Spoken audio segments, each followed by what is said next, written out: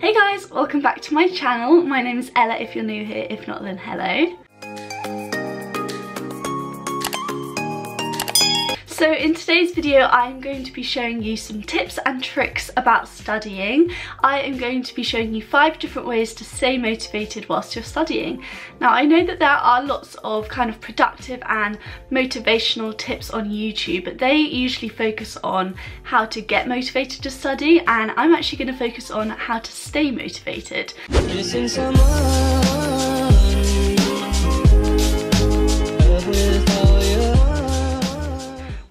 Younger and at school, I found revision the most boring thing. I couldn't seem to get motivated or get down to doing it, so I actually had to implement a few strategies myself, and they have really helped. Now that I'm at university, I still use the strategies, and I am way more productive and motivated than I used to be. So that's what I'm gonna share with you today. I'm gonna share five of the strategies that I used that will hopefully benefit you. At the end of this video, if you have enjoyed it and if you've learned something then I'd love if you gave it a big thumbs up and subscribed. I'm nearly at 400 subscribers which is really exciting and yeah you'll have to let me know down below if you enjoy these types of videos. Um, I quite enjoy filming them. I like to film kind of studenty videos, things like that so you'll have to let me know if you enjoy them. Okay, so tip number one, plan exactly what you're going to do in your study session the night before. So I am a really big advocate for planning. I plan my days out usually not just for revision. I've got planners, I've got calendars, I've got notebooks. So I really know how beneficial this is. When it comes to revision, if you plan out the night before what you're going to do, you will wake up much more refreshed and much more motivated to go and do it. So there are three different ways that you can plan. You can either plan what you're going to do that day in the morning, afternoon and evening, if that's when you usually study, or you can plan by hour. So at 1pm I'm going to have lunch, 2pm I am going to revise RS, 3pm I'm going to revise history, or, and this is what I really recommend, is to have a whole timetable and plan out exactly what you're gonna do each day for your entire month or for your entire A-level or university revision period. So when it came down to my A-levels and I was in study leave, I made this really big calendar and I basically jotted in when my exams were and worked backwards.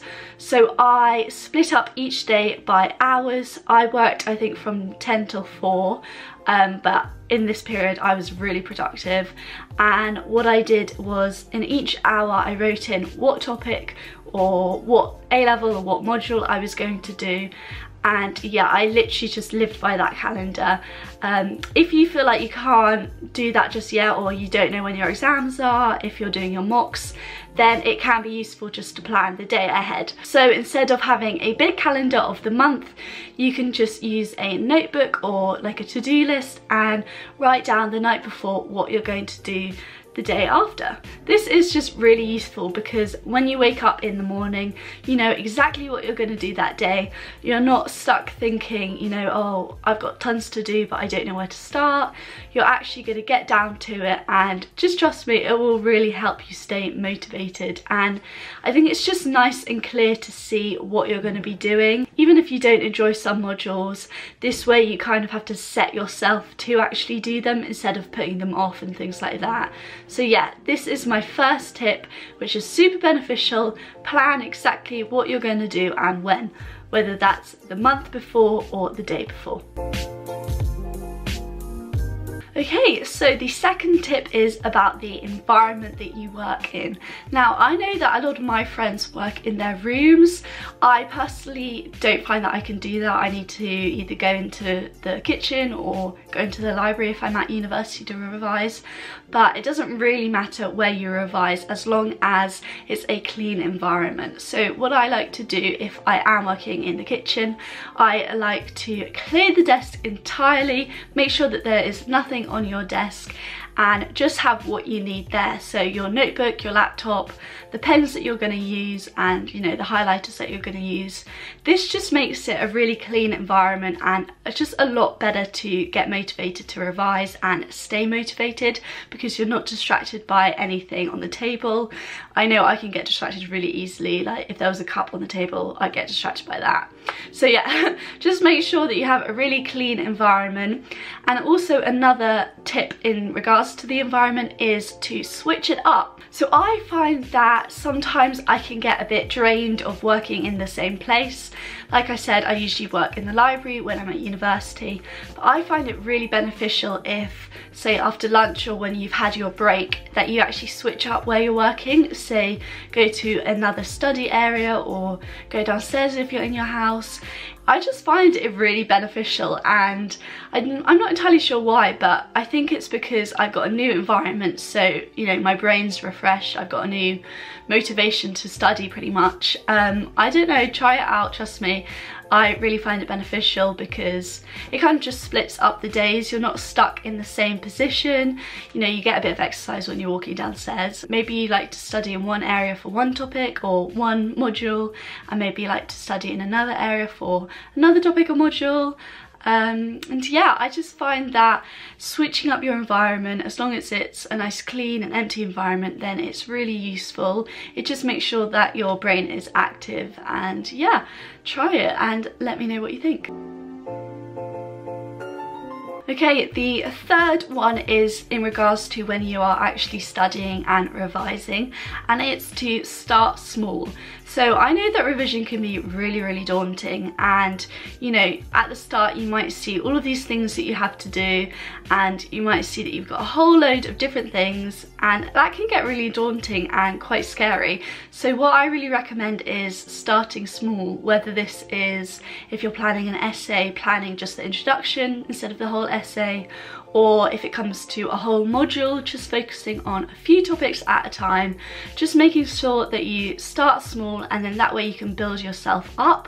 I recommend doing this every day or every new study session, starting small and then throughout the day, the more you feel kind of relaxed and in the motivation to study, then the more you can build up exactly what you're going to do. I know that a lot of university and A-level courses have got a lot of content, so this way it can be much much less daunting and it actually buys into the planning tip that I said earlier. You can plan exactly what these small things are going to be and throughout the day you can make sure the workload is getting slightly bigger and slightly bigger and yeah it just helps in the long run and I think it can really help people start getting motivated and become more productive in the study sessions because you know you're not in front of a table and you've got all of this huge content. You actually are starting small you're maybe starting on one topic half a topic. And yeah I just think it's a lot easier that way. So yeah, that is my third tip to start small and plan what those small things are going to be. Okay, so my fourth tip is, again, when you're in the middle of studying and it's your study approach. So I'm quite a visual learner. I like to use highlighters, I like to write things out, things like that. But I find if you kind of switch your approach or switch the task even, then it can be really beneficial. So by this I mean maybe instead of writing things out for revision, maybe you're going to work on a flashcard now, or maybe you're going to try an exam paper, or maybe you're going to listen to a YouTube video, podcast video about the topic. I find this way I keep getting motivated and I'm still productive in the daytime because I'm not just doing the exact same thing throughout the day. I'm not just writing down notes day after day. I'm actually being active instead of passive and I'm doing different ways to revise and memorize the content. So different types of approaches can be reading your textbook or making notes from your textbook. They can be doing exam questions, whether it's planning an essay or a past paper. It can be making flashcards and it can be actively listening or something like that to maybe a YouTube tutorial, things like that.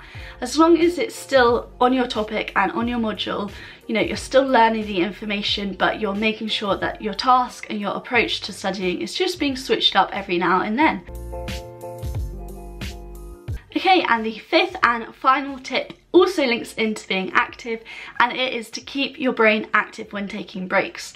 Now I know a lot of people when they take breaks they do recreational breaks, they might just sit on the sofa, sit in your bed, watch YouTube, watch TV, basically just do nothing, which is fair enough, you know, you want to have a rest, but I really think that you should save that kind of recreational break till the very end of the day and instead make sure that your breaks are keeping your brain active.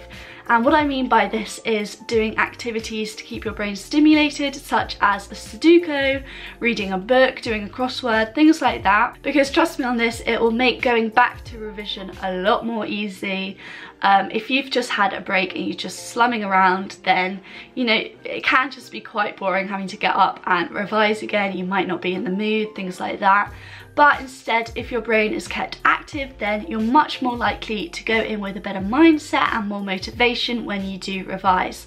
Along with this I also recommend eating some healthy foods in your break such as you know some fruits and vegetables um, don't just you know eat chocolate things like that although I am one to admit I do do that um, but yeah just keep your brain active and yourself energized whether that's also going for a run or something like that and make sure that your recreational break is at the end of the day because that way you can enjoy yourself a lot more when it's at the end of the day and you've finished all the work for the day. It can be much more rewarding. Okay, so those are my five tips. Plan your day, have a clean environment, start small, switch up your different approaches and tasks, and keep your brain active in your breaks. Okay, so that was pretty much all of my tips. I know that it can be really hard to implement these, but just try and give it a go.